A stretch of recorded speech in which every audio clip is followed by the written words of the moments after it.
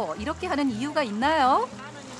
하루 이틀 장사하고 끝낼 게 아니라서 그래서 좀 좋은 재료를 사가지고 하려는 편이에요. 물 어떻게 해요, 이모? 눈을 못 떼시네요, 이런 데서. 네. 하나하나 좋은 보신다. 걸로 사야지. 안 그러면 사장님은 돈 나가지고. 든든하다. 내 몸이 조금 피곤하더라도 더 좋은 반찬을 주고픈 마음은 아들도 마찬가지랍니다. 한눈에 봐도 재료가 정말 싱싱해 와, 좋다. 보이네요. 주인장의 검수 또한 필수라죠. 좋은 걸로 잘 사.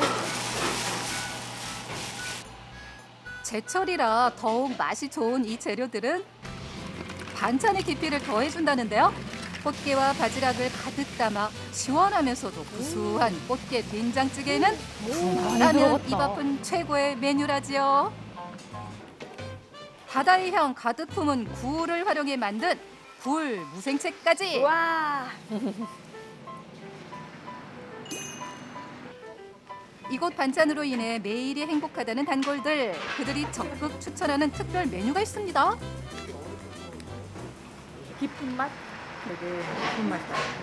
뭐라 더 표현이 안 될 정도로. 저희 애가 김치를 안 먹는데 김치찜에 김치는 정말 잘 먹어요. 네. 여기에서는 유일하게 고등어 김치찜을 찾아 먹거든요. 그게 부들부들하고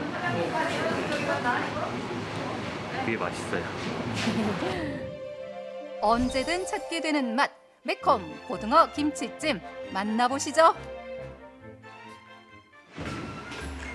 먼저 토막낸 고등어를 준비해 주고요. 식초를 뿌려주면 생선 특유의 비린내를 확실히 잡아줄 수 있습니다. 깔끔하게 씻어 준비해 주세요. 이번엔 청양고추의 등장.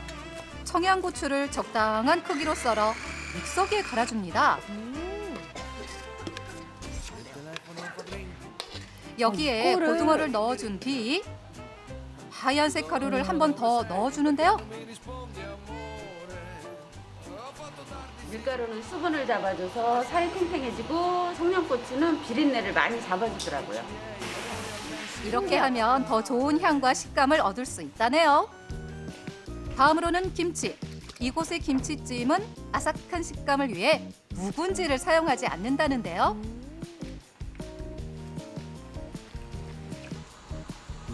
묵은지의 깊은 맛 아쉽다고요? 여기 그 맛을 내는 비법이 있습니다. 쌀뜨물이요. 묵은지가 아닌데도 묵은지 같은 맛을 낼 수 있더라고요.